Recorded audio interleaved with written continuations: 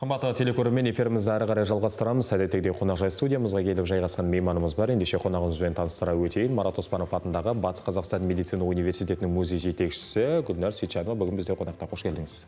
Гаухар Сейтжанова. А, Гаухар Сейтжанова, иә. Айбетіңіз қош келдіңіз. Рахмет. Көңіл күйіңіз қалай? Шүкір, керемет. Ал ертең бізде музей күні аталып өтілмек. Енді сіздердің кәсіби мерекелеріңіз деп айтуға болады. Құттықтаймыз. Жұмыстарыңызға табыс тілейміз, сәттілік тілейміз. Енді өзіңізбен дәл қазір Марат Оспанов атындағы Батыс Қазақстан медицина университетіндегі негізгі музейдің жәдігерлерімен таныса өтсек. Музей негізі қай жылы құрылды және ондағы жәдігерлердің басым көпшілігі қай жылдарға тән осыдан бастайық қайырлы таң. Біздің енді а, 67 жылдық тарихы бар университетімізде үш бірдей музей бар. Енді ең біздің ірі музейіміз сол анатомиялық музей. Себебі сол университет құрылғаннан бастап сол музей өз жұмысын басталған. Содан бастап ә, жаңағы жәдігерлері жинақталған. Содан кейін ә, осы университеттің тарихи музейі бар ә, небәрі 25 жыл. Содан кейін ә, 45 жылдық тарихы бар әскери даңқ музейі бар. Сол біздің университетімізде үш бірдей музей жұмыс атқарып жатыр қазіргі таңда. Ал енді жәдігерге келетін болсақ енді біздің алғашқы ә, жәдігеріміз ол мына ә, фотоальбом деп айтуға болады. 63 жылы біздің ә, жаңағы Қолға алып телекөрермендерге көрсетіп қояйық. Біздің университетімізде жүзде елу жеті түлек бітіріп шықты. Солардың алғашқы фотоальбомы бірінші жәдігеріміз. Солардың сосын білім кілті бізге берілген. Осы алғашқы жәдігерлеріміз біздің музейде жаңағы сақталған. Бұдан бөлек тағы қандай жәдігерлер бар? Жалпы қай жылдардан бастау алады жәдігерлер? Ал енді біздің тарихи музейіміз 1997 жылы құрылған болатын. Университетіміздің 40 жылдық мерейтойына. Сол кезде енді а, жаңағы бізде марат оспанов атындағы медициналық университет болғасын сол кісінің жеке заттары да сақталған. Мына қарап тұрсақ өзінің жеке қаламы арнайы бұрышы бар. Сол кісінің жаңағы 70 жылдық мерейтойына еске алу кештеріне жұбайы бақыт оспанованың өзі келіп жәдігерлерді толықтыруда Мұнда жазылып тұр екен, выпуск первый, яки бірінші шығарылым 1957-1963 жылдардың аралығы дейді. Және группа 1, группа 2 дегендері тағы бар. Демек, бұл әу басында бұл университетте оқыған түлектердің толықтай тізімі деп айтуға болады ғой, иә, сонда? жүзде елу жеті түлек М, 157 түлек. М, Ал мына алдыңыздағы тағы бір жәдігер тұрған сияқты. Бұл мынау енді 80 жылдарғы ә, қазіргі мына қарап тұрсаңыздар сделано в ссср дейді ол кездегі енді ә, біздің жаңағы ә, дәрігерлеріміз иә, мынандай, ә, қолданатын. құралдармен жаңағы екпе жасаған болатын шприц дейміз ғой. Сол шприцтар 80 жылдағы жәдігерлер. Қазіргі таңда енді біздің студенттер бұл- бұларды білмейді. Себебі қазіргі таңда емдік ем-домдар қазіргі одноразовый шприцтармен жасалады басқа тәсілдермен емделеді. Ал бұл кезіндегі қайталан қа- қайнатып сөйтіп жаңағы стерилизациядан өтіп жаңағы жасалатын ә, бұйымдар болған. Ал енді бұның өзі біздер жәдігер ретінде сақтаймыз. Себебі біздің музейде артында іс қалдыр акциясы болады. Сол акция барысында біздің кафедраларымыз біздің жаңағы профессорлық құрам көптеген өздерінің кәсіби деңгейінде пайдаланған бұйымдарын бізге жәдігер ретінде тапсыруда. Жәдігерлердің басым көпшілігі 1980 жылдарға тиесілі деген алға, тарттыңыз ғой. Және мен қолыма ұстаған бұл фото альбомда кішкене ыс өткен сияқты ма, иә, бір сыз өткен сияқты ма, бір судың нелері қалып қойған екен, бірақ осы жәдігерлердің барлығын қайтадан реставрация жасау ә, жәдігердің құндылығын жойып жібермей ма, қалай ойлайсыз? Біздер енді ол реставрациясында жасау ә, тәсілдерін қазір жұмыстарын жүргізіп жатырмыз. Себебі 65 жылдық ә, мерейтойымызға біз ә, жаңағы көптеген біздің жаңағы витриналарымыз дейміз стендтарымыз экспозицияларымызды жаңарту жұмыстарын бастап кеттік. Бір жылдан бері сол қарқынды жұмыстар реставрация бойынша жүргізілді. Себебі бүгінгі күн ертеңгі тарих жылдан жыл мына күннен күнге біздің жаңағы университетіміз көптеген жетістіктерге жетіп жатыр. Оның бәрін біз міндетті түрде енгізу керекпіз. Сондықтан ә, толықтыру жұмыстары әлгіден жасалуда. Ал реставрация бойынша енді шынымен сіз айтқандай жаңа рухани құндылықты біз ә, реставрациямен ә, жойылтып аламыз ба деген сұрақ болды бізде. Ә, себебі м, реставрациядан өткен э, экспонат жәдігер ол сол басыңғы сол кездегі Атмосфераны бере Иә, алмайды. иісті Иә. бере алмайды деп ойлаймын. Сондықтан біз сол неде қалдырамыз деп шешім қабылдық. иә. сол қабында. Себебі ә, біздер ә, жаңағы тәжірибе алмасу барысында да көптеген музейлермен тығыз байланыстамыз. Солардан да сұрағанымызда неғұрлым жәдігер сол кездегі қалпында қалса ол құндылығын сақтайды деген сөз. Иә. Өткенді білу өте маңызды ғой. Енді осы тұста студенттермен қандай байланыс орнатасыздар? Студенттермен бірге осындай музей тарапынан жаңа өзіңіз көрсеткен жәдігерлерді көрсету мақсатында.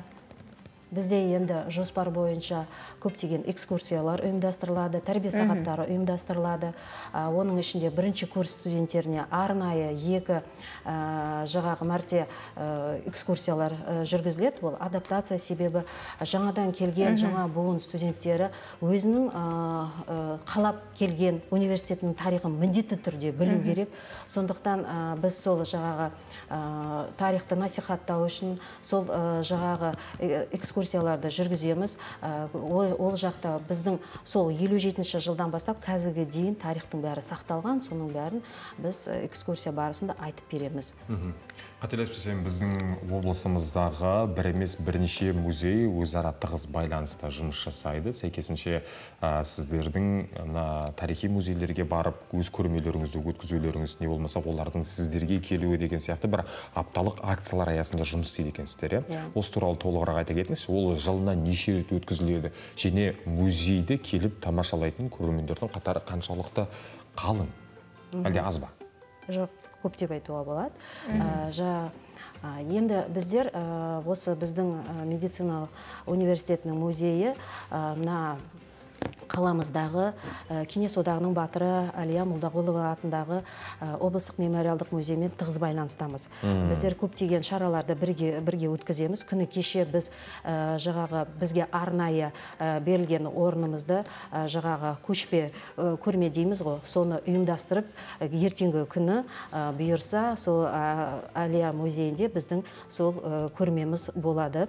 Біздер енді үш тақырыпта экспозиция дайындадық. Ол жаңағы біздің ұлы отан соғысының ардагерлері екінші эвк госпиталь ақтөбе облысы бойынша және халида мамановаға арналған арнайы бұрышымыз сол жердегі жәдігерлеріміз. Сондықтан мына енді барша ақтөбеліктерді жерлесімізді ертеңгі ә, музей түніне шақырамыз сіздерді де ә, ертең Рахмет. сағат жетіден кешкі жетіден бастап түнгі он екіге дейін сол музей түнінде біздер де бірге өткіземіз. Музей түні дәстүрлі түрде жыл сайын ұйымдастырылып келе жатыр. Иә бірнеше жыл қатарынан көзайым болып келе жатқан жайымыз бар. Бірақ осы жылғы музей түнінің өзге жылдардан өзге жылдардағы шаралардан басты айырмашылығы неде болмақ? Енді бұрнақ жылдары біздерде жаңағы ә, музей түнінде жаңағы вечер караоке дейміз әндерді көтереміз. Сол кездегі ескі әндерді еске салып айтамыз. Сол әлия музейімен де бірлесе жүр. А, ақтөбелік жаңағы бізге тарихи өлкетану музейімен де а, өткіземіз. Бірақ жылдан жыл мына біз қызықты болу үшін көрерменге қызықты болу үшін ә, тақырыптарын алмастырамыз. Ә, алдыңғы алдыңғы бұрнақ жылдары ә, тақырыбы ұлы отан соғысының ардагерлеріне арналса келесіде ә, жаңағы ауған соғысының ардагерлеріне сөйтіп ә, тематикалары әртүрлі болып тұрады. Ал мына қазіргі таңда музей қорында жалпы қанша жәдігер бар? Біздің енді көбінесе ә, біздің жеке музейімізде тарихи музейімізде анатомиялық музей мен даңқ музейді айтып тұрған жоқпын. Әскери даңқ музейді біздің ә, тарихи музейімізде суреттермен қоса саналғанда 12 мыңнан аса жәдігерлер бар. А, жалпы заттан ә, мынандай жәдігерлерде бізде мыңнан аса. Бір жылдағы 365-366 күннің бір күнін музей қызметкерлерінің кәсіби мерекесі күні. Не болмаса музей күні деп атап өтудің маңыздылығы қандай? Мынау енді музей күні халықаралық жаңа музей кеңесінің жаңа юнеско енген а, жаңағы кеңесі 1946 жылдан бері келе жатыр ғой. Содан бері енді а, мынау 11-ші халықаралық конференцияда мәскеу қаласында. Сол а, 18 мамыр халықаралық музей күні деп бекітілген. Содан бері енді а, музей ә, қызметкерлері кәсіби өзінің мерекелерін өткізіп келеді. Енді мен өзім музей қызметкері болғасын маған бұл мереке маңызды. Себебі біз жылда бұны күтеміз. Бұған ерекше дайындаламыз. Бұл біздің кәсіби мерекеміз. Ә, сондықтан ә, маңыздысы зор деп ойлаймын. Ә, себебі осы таңда ә, біздің ә, рухани байлығымызды насихаттайтын осы музей қызметкерлері. 1980-ші 90-шы жылдарға тән ресми ақпараттық маңызы бар құжаттардың негізгі түпнұсқа түпнұсқасы кез келген ә, мұражайда музейде сақталуы қажет мұражайдың қорында. Ә, бірақ енді көрерменге музейді тамашалап келушілерге оның ә, көшірмесі қойылуы мүмкін бірақ қорда сақталуы қажет. Қазір қанша құжат бар? Ә, бізде түпнұсқа түпнұсқа деп айтсақ енді бізде ә, жаңа түсімдер кітабы өзіміздің құжаттарымызда жүргенде ә, түсімдер кітабында бізде 20-дан аса жәдігер түскенімен оның ішінде нақты түпнұсқасы негізгі қорымыз өте аз. Себебі ә, жаңағы жаңағы акция барысында әлі жинақтап жатырмыз. Болашақта біз жоспарлаймыз біздің ә, нақты ә, негізгі қорымыз көбейе түседі деп. Ал мына студенттердің дәл осы университет музейіне қаншалықты қызығушылық танытып жатады?